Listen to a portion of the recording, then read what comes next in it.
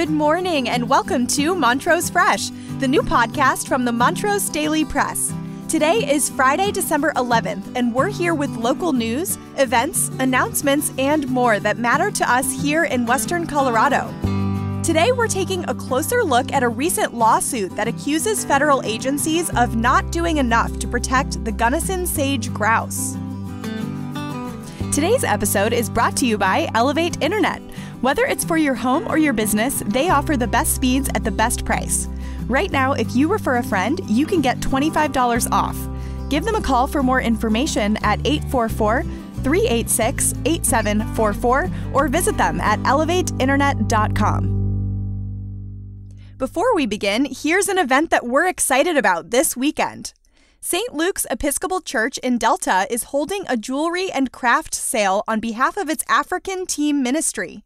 The craft sale will be from 10 a.m. until 1 p.m. on the 12th, and also from noon to 1 p.m. on the 13th. They'll have jewelry along with carvings of African wildlife, wood and stone dishes, scarves, and more. If you haven't already finished your holiday shopping, this is a perfect opportunity to do so. Keep in mind, social distancing and masks are required. They'll also be limiting the number of shoppers. Now, our feature story. Each spring, male sage grouse develop this incredible plumage and then they strut their stuff in such a way that they try to attract females. It happens in the very early morning. There's sounds associated with it. And once you've seen this thing happen, you never forget it. According to a fresh lawsuit, federal agencies have not done enough to protect the threatened Gunnison sage grouse. The suit was filed on Monday by the Center for Biological Diversity and Western Watersheds Project against the Bureau of Land Management, the U.S. Forest Service, the National Park Service, and the U.S. Fish and Wildlife Service. According to the suit, the grouse has not been protected from harm caused by grazing in the Gunnison Basin. Now, the bird's population is teetering on the edge of extinction. Ryan Shannon, a staff attorney for biological diversity, said that the Gunnison sage grouse is in sharp decline and will certainly go extinct if immediate action isn't taken to save it. The Pew Charitable Trusts describes the importance of acting now in this message. The biggest threats to sage grouse habitat on public lands are energy development, off-road vehicle use, and underregulated grazing where it goes on on the public lands. We've already lost half of the sagebrush ecosystem of the West. The bird's numbers dropped from about 3,149 in 2013 down to 1,667 this year. To combat this trend, the plaintiffs are looking to prevent agencies from authorizing grazing in habitats that are on federal lands, or at least prevent them in doing so until an adequate consultation is done.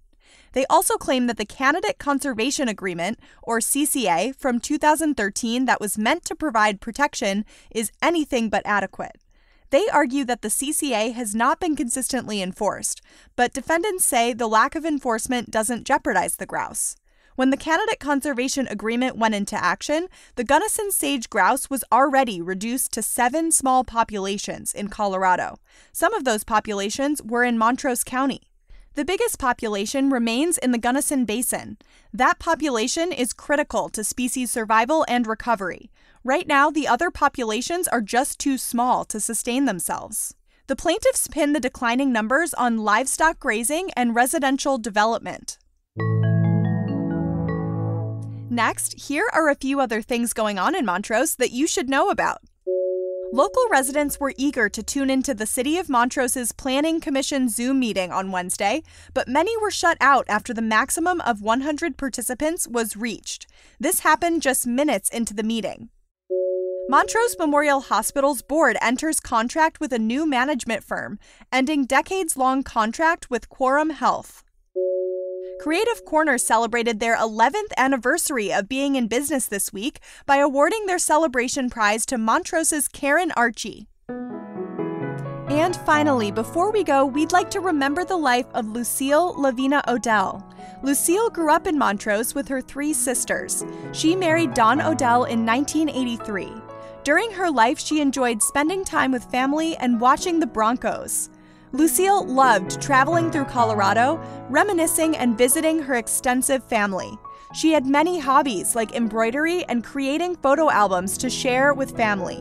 Her thoughtfulness and her contagious smile will be deeply missed. Thank you for taking a moment today to remember and celebrate Lucille's life.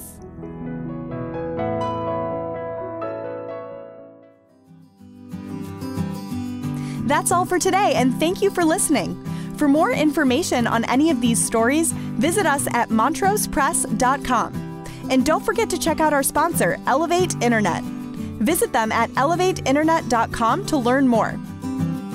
For more than 137 years, the Montrose Daily Press has been dedicated to shining light on all the issues that matter to our community. Go to montrosepress.com to subscribe for just $1.99 per week for our digital edition. You'll get unlimited access to every story, feature, and special section. Thank you, and remember to tune in again next time at montrosepress.com or wherever you listen to podcasts.